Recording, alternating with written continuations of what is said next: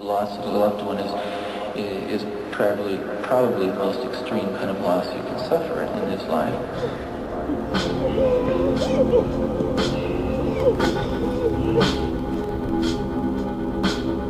I just want you to know that I loved you.